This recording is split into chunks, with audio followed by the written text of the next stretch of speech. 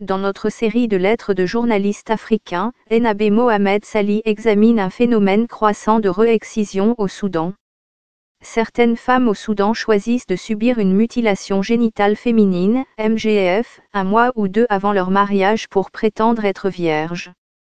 C'est le cas même si la plupart d'entre elles ont déjà été excisées en tant que filles, ce qui arrive généralement entre l'âge de 4 et 10 ans. Dans le pays majoritairement musulman, cela peut impliquer l'ablation du clitoris et des lèvres et comprend souvent des points de suture pour rétrécir l'ouverture vaginale, un processus connu sous le nom d'infibulation. Si une future mariée opte pour d'autres MGF, l'opération, généralement pratiquée par des sages-femmes, peut impliquer de couper davantage les lèvres et de recoudre le vagin.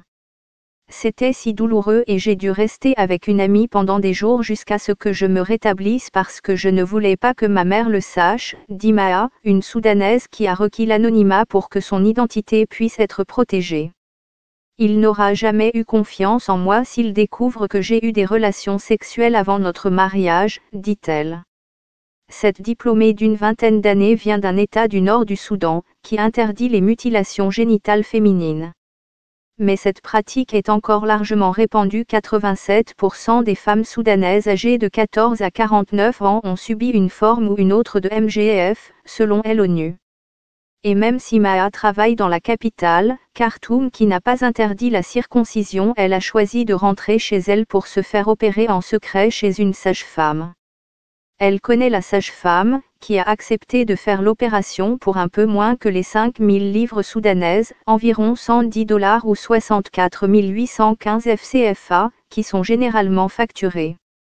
Dans de nombreuses cultures où la virginité avant le mariage est importante, les femmes choisissent de se faire opérer pour reconstruire leur hymen, une fine couche de tissu qui recouvre partiellement l'ouverture du vagin, pour cacher tout signe d'activité sexuelle passée mais l'hyménoplastie, comme on l'appelle, doit être pratiquée par un chirurgien et n'est pas très répandue au Soudan et on me dit qu'une seule clinique ne l'offre qu'aux femmes mariées.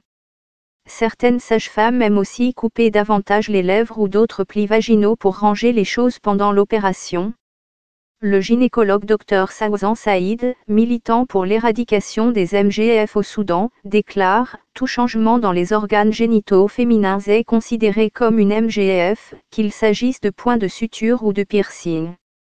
Cependant, aucune de ces interventions ne peut être pratiquée dans les hôpitaux, même à Khartoum, car le conseil médical soudanais ne le permet pas.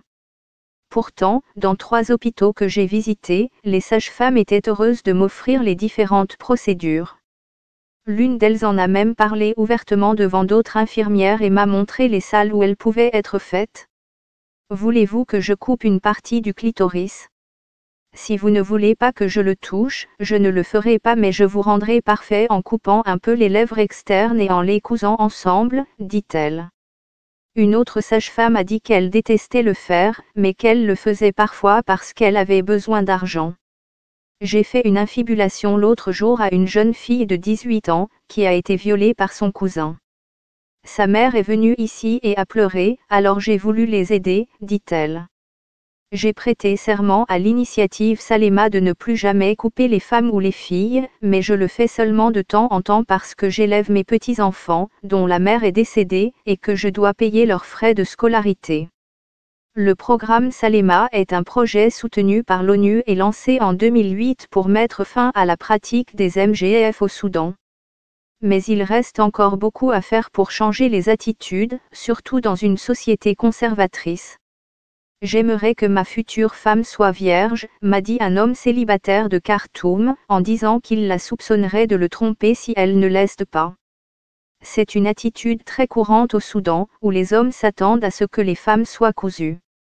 Pourtant, les militants anti-MGF espèrent que les choses vont changer étant donné que le mois dernier, le pays a abrogé une loi restrictive d'ordre public qui contrôlait la façon dont les femmes agissaient et s'habillaient en public, notamment en interdisant aux femmes de porter un pantalon. Il a été mis en place au cours des presque 30 ans de règne d'Omar Aluminium Bashir, qui a été destitué en tant que président lors d'un coup d'État plus tôt cette année après des manifestations de masse dans les rues. En vertu de la loi sur l'ordre public, les autorités disposaient de pouvoirs étendus pour contrôler ce que portaient les femmes, à qui elles parlaient et voyaient, et tout emploi qu'elles pouvaient occuper tout délinquant présumé étant puni par la flagellation, ou dans de rares cas par la lapidation et même par une exécution. Naïd Toubia, fondatrice de l'initiative en l'an un groupe de campagne pour éradiquer les MGF au Soudan affirme que les jeunes femmes d'aujourd'hui sont beaucoup plus avancées que la génération de leurs parents. Elles sont en conflit, elles pensent qu'elles ont le droit d'avoir des relations sexuelles, mais elles doivent aussi faire des compromis en se faisant recoudre ou même en portant le hijab, explique-t-elle.